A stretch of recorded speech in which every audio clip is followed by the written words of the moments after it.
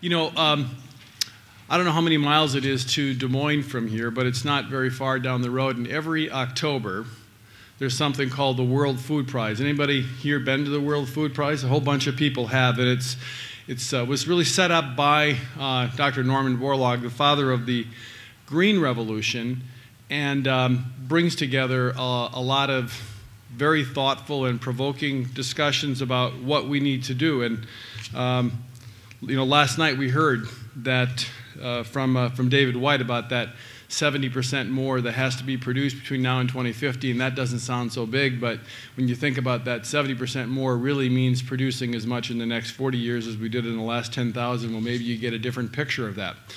Well, that, that conference has a lot of very interesting speakers, and I think it was uh, three years ago, Howard was one of the speakers, and he came in, and remember, this is a conference on the Green Revolution, with the uh, classic Howard statement of brown is the new green. And I first thought he had had a falling out with John Deere, but that wasn't, was, wasn't what it was. Um, and he was really talking about that before we can have more green, we have to pay attention to brown and the brown revolution. And I know that there's nothing new about that statement for anyone that is in this room. As a matter of fact, for me as a kid who grew up on a, on a farm and uh, uh, you know, a father who um, you know, late in his life uh, turned to no-till and do all those kind of things, it's all very intuitive. But, but I can tell you that for many policymakers, this is not something that's on their mind. And I would even say, even for a company like ourselves, seed and technology company, um, who have many, many people who have farm roots, it isn't the first thing they think of either. So when Howard talked about brown being the new green, it really was um, something that spurred, I think, some new thinking. And I'm going to combine that with a second thought that um, happened at the World Food Prize and many other meetings.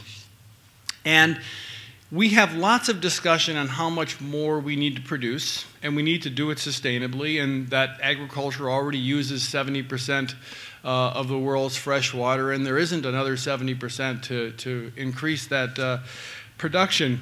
But what we probably haven't talked about nearly enough is the fact that you know, all of this happens outdoors, and it's going to happen in the context of what will probably be a more volatile climate. As Nancy just talked about, you know, we fear there are more droughts and not only more droughts, but the role of temperature. And I think uh, uh, th that maybe you know isn't so intuitive to all people, but the role of temperature and productivity. There were a lot of stories yesterday about 2012, how different practices, cover crops, higher organic matter, no-till, all look dramatically different in 2012. We heard the same kind of stories, by the way, about how farmers that had used biotechnology for insect control in 2012, and they were comparing it to what had happened in 1998, the, the, most similar kind of situation. So we can see that there are practices and tools that help us better prepare. But the bigger idea that I think comes out to me from all of this is that we have to make the farming system more resilient. And that's the word I heard a number of times yesterday. So we got to we got to produce more. We got to pay attention to the soil. We have to think about it in a system kind of uh, way, making the the more system resilient. So we came back really from that World Food Prize as a company and started asking ourselves the question: What should we do in this space? And that's really the, the, the start of what is the uh, Soil Health Partnership today. The first piece, you know, and coming to a meeting like this, it's really obvious. You know, there's so much knowledge and learning of people who have been doing this for years. So anyone to come in and think they should just uh, do something themselves is ludicrous. Uh, and that's why it's a partnership. And we're really a, a funder and collaborator in the partnership. And if you uh, go to the trade show area and you see this brochure, you'll see in the back side all of the partners that are in there. And there's an awful lot of people that are in this room whose names are on the back of this, and we'd like to have more of the people who are in this room have the names on the back of this uh, as advisors because we're not trying to reinvent the wheel. We're not trying to do something that somebody is already uh, effectively doing. what we're aiming to really do, uh, and this is where we, we see our role, is if when I hear people talk about the fundamental challenge, it sounds an awful lot actually what, what a seed and technology company does. We have to figure out how you take all this disparate amount of data from results locally and get it into a comprehensive, practical um, set of information that allows this to go large scale. And, and that's what we see really as our role in doing this. And the partnership is really about getting 20 this year, many more longer term after this, farm size, um, practical settings with data done in a uniform kind of manner that is comparable. We want to use the uh, calculator from the field to market uh, approach so that we can get a uniform kind of approach.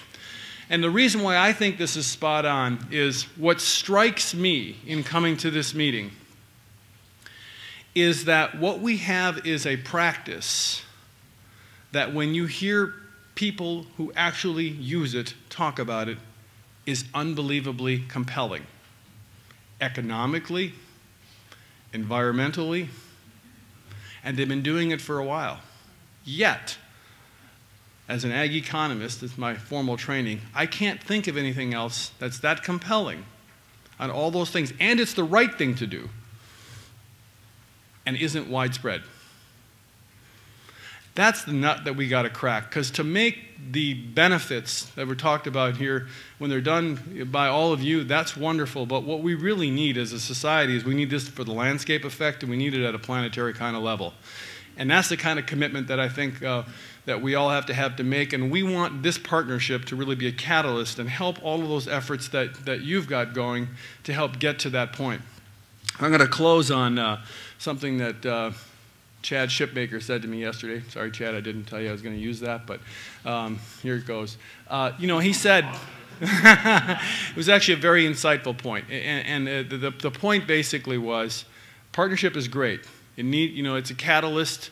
Uh, let's let it build on everything else. Don't copy anything else. We're not interested in funding anything else that copies anything else.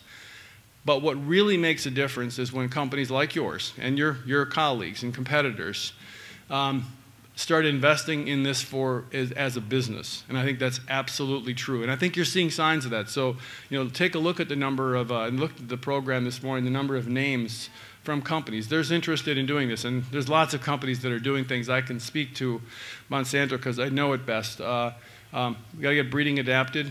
Uh, there's, uh, we really think that there's an opportunity with all the data that you own and you collect to turn into insight to make better decisions. And that's what uh, our integrated farming system investment is all about.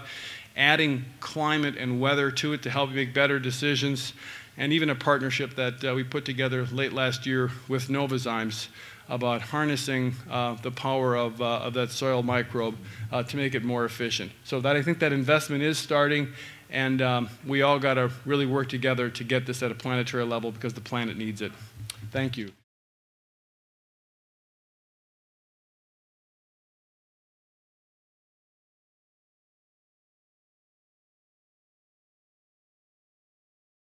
Música